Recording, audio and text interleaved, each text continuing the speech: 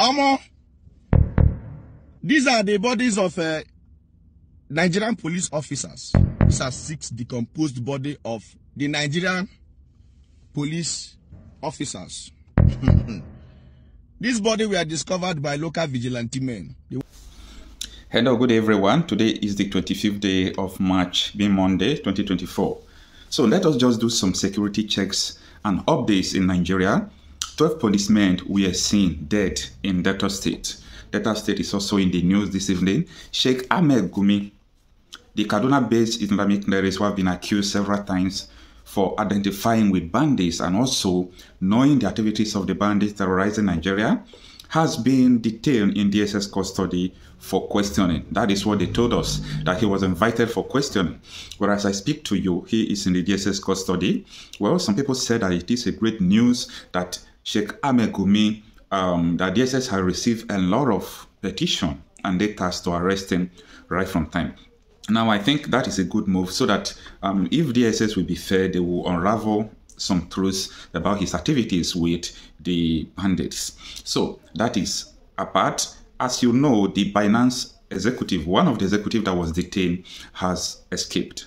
But that is not the true news. It has been released officially, or he has been released in the garden, because Nigeria cannot tell us that the Binance executive that was detained, they seized his passport, and he escaped from the DSS custody and he went to the airport.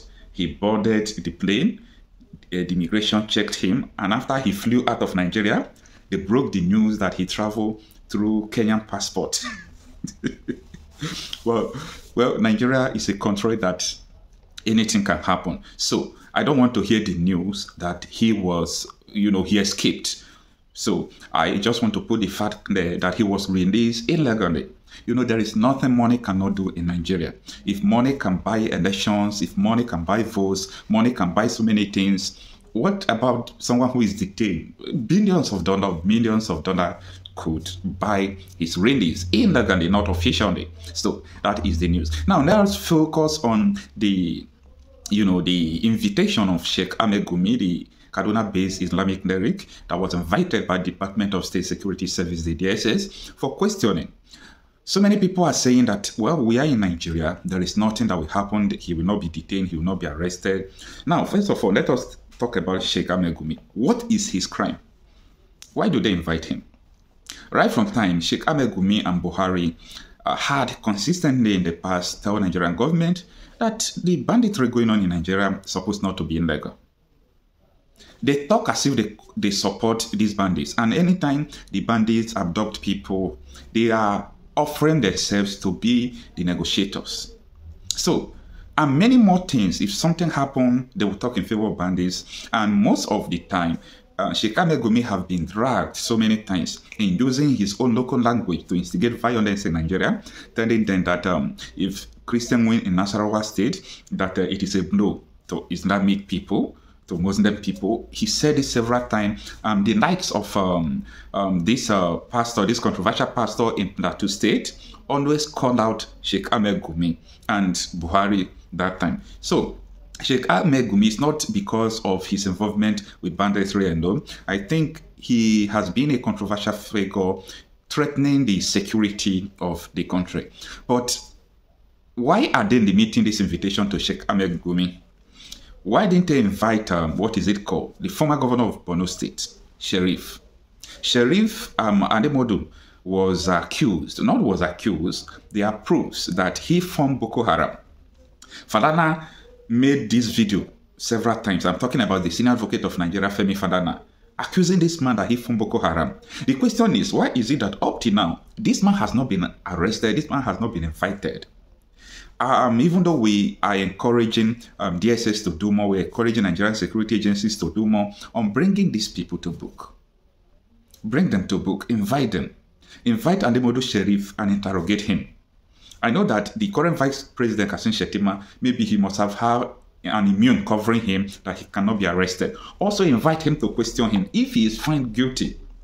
If you find him guilty when he leaves office, then let them prosecute him. Everyone that has been indicted of corruption, of uh, funding, um, what is it called, insecurity, one way or the other, anyone supporting um, the insecurity challenges in Nigeria should be brought to book. So I don't want any situation where they will fight one, they will not fight one. As far as we are commending them for inviting Sheikh Ahmed Gumi, they should also invite the rest of them so that we will know that this is not based on sentiment or religion or any other thing. So we commend them for inviting Sheikh Ahmed Gumi. We also implore them to invite um, Kashim Shettima and the model Sharif, as many of them that has been indicted in supporting insurgent. They have declared so many people wanted. These people also should be invited for questioning, not because they control some persons. Instead of them to declare them wanted, they are just invited there. Well, it is not bad as we talk. Let's see what is going to happen. What they do with the invitation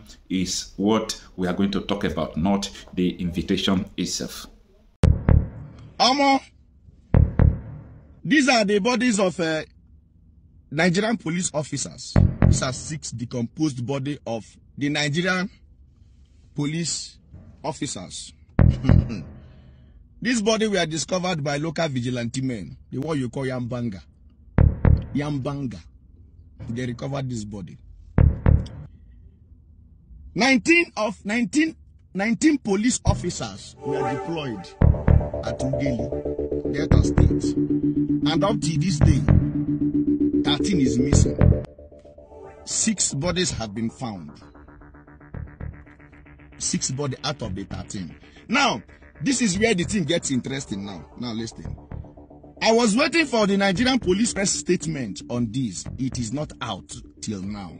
But the Nigerian police released a press statement on Erisco Tomato. Erisco Tomato statement is out.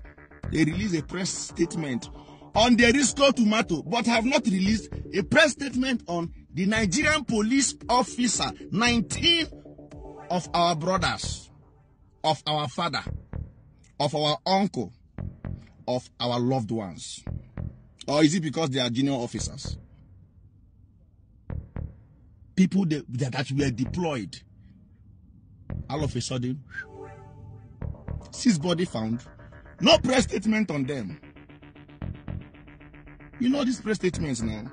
Oh, blah, blah, blah, anybody with useful information on uh, the people that uh, should come forward. Like, those, they have not released even one not even addressed it. But they have released press statement on Erisco Tomato where man everything is wrong with Nigeria.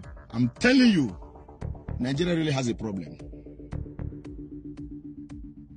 Nigeria really has a problem. These are our brothers.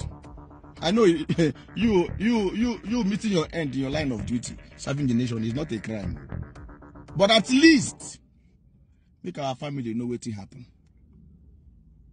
Let us let, them, let us know what happened to our own our brother, our uncle, and our father. But they are like this. They they are quite their mouth is like this. So up to today. Oh. But go to their their handles. You see a Risco press statement there. A, a Risco press statement is there, but says a, a police officer, 19 missing. No single press statement from them. At least, we then pay them respect. Last respect. We need to pay last respect. Man, shout out to police officer out there doing good. Though.